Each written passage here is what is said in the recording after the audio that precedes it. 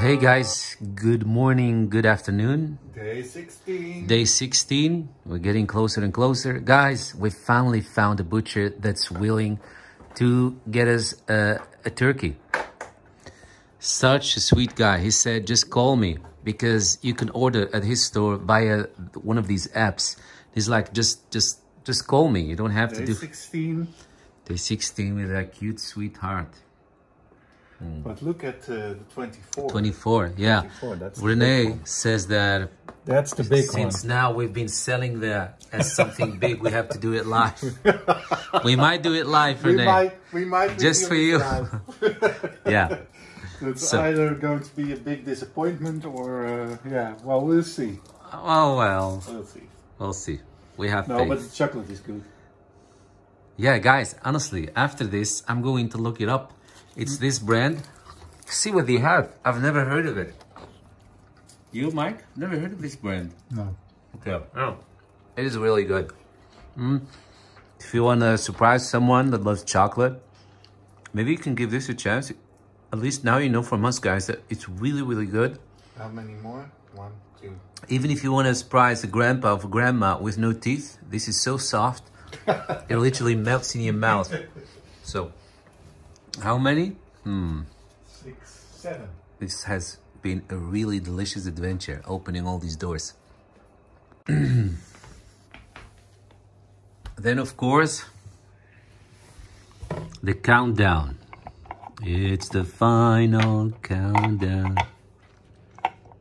Hopefully not the final one. Eight days. Hope is coming, you guys. More and more people are starting to get the the vaccine.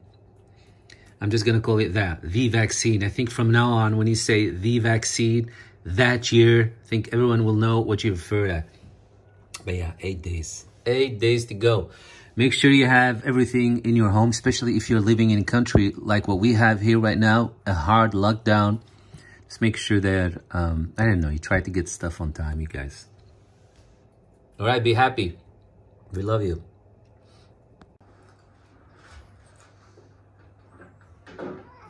You know, Grease is one of these movies. When you put it up, even as background movement, it will draw you back in.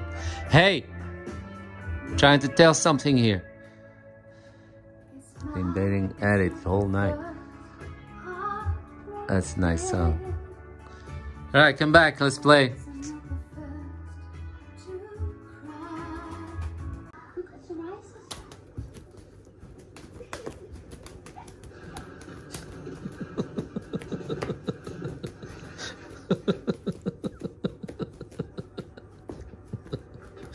Tomorrow's our anniversary. I figured that'd be a good day for you and me to get married. Especially since I got all that money.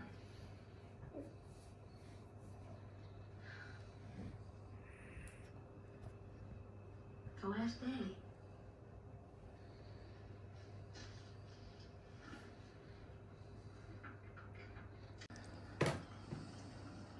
Guys, yesterday we watched The Rivers and today we watched The Coal Miner's Daughter.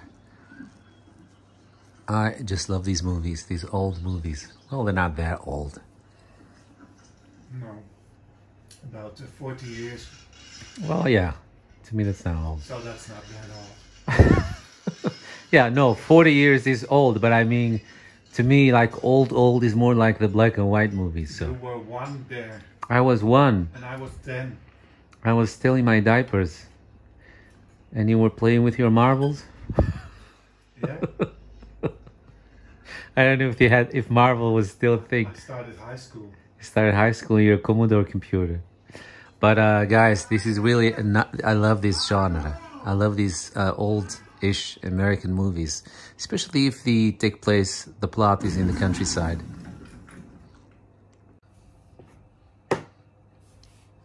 Oh my God, you guys, I cannot tell you how much I love this halal slash kosher marshmallow. I got it from an Islamic company in Germany. Love it. Can have as much as I want of this.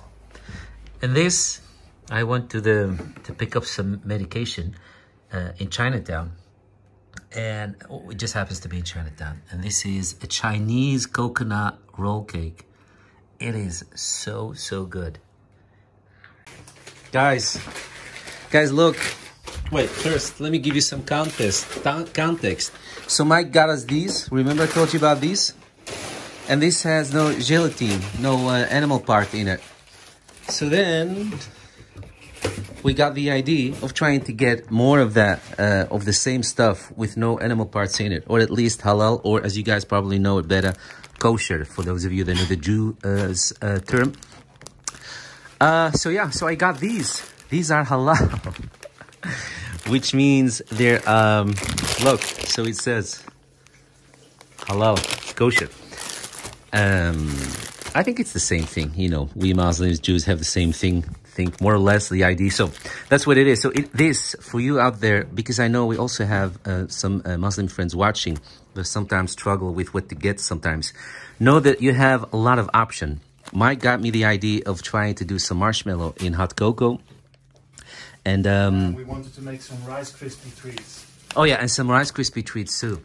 that's also problematic because it's uh, it has pork gelatin in it.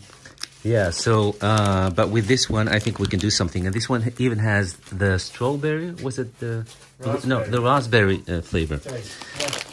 Uh, and I got this because at the website it was advertised as being the marshmallows with uh, plant-based gelatin. Okay. But This is- actually it's cocoa mix. Yeah, this is the whole package. yeah, so no problem of course. But But, it's- uh, that was not what I, what I was going for. So then we looked at the internet again and came up with all this stuff. I just love it. So this is all, this is all halal. This is all something that I, And this one as well. As a Muslim, I can have. I cut this open when I opened. yeah, he was unboxing it.